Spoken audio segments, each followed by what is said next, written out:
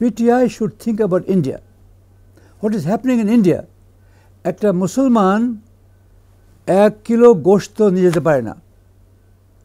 তাকে সেই গোস্ত সমেত তাকে সেখানে মেরে পিটে, মেরে তাকে খুন করা হচ্ছে। PTI is ignorant about the history of India they should know the history of India and they should apologise to Bangladesh what's happening in India today what's happening in Manipur ওদের কথা বলার ক্ষমতা আছে বলো। মণিপুরে কী হচ্ছে এখন right now hundreds of people are being murdered killed raped in daylight is that a country is a civilise country I consider India to be a civilized country. India is my friend. What is democracy in India? Do they have any democracy? I'm sorry. It's Mr. Modi's democracy. Mr. Modi has has stopped every other news media. There is no news media which is talking, which can speak.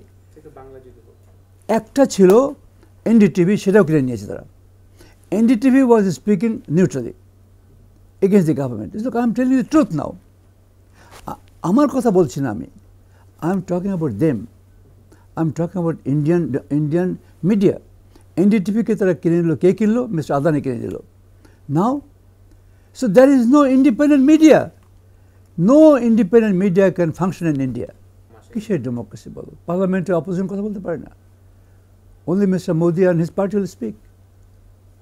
Only, only BJP speaks. Rahul Gandhi কথা বললো বের করে দিল is it democracy I am not for Rahul Gandhi I am for democracy but that's not democracy mister Modi has lot of good qualities surely he is prime minister And he has done a lot of good work.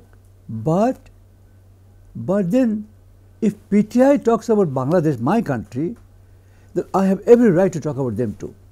If they say that we have no democracy, I'll say India has only one party rule. That's Mr. Narendra, that's BJP rule.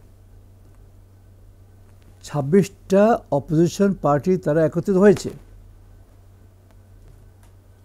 সেখানেও বিভিন্নভাবে চেষ্টা করছেন BJP ওদেরকে ভাঙা The PTI must know, think about Manipur, think about what they have done in other countries, other places. Uttar Pradesh কি করছে?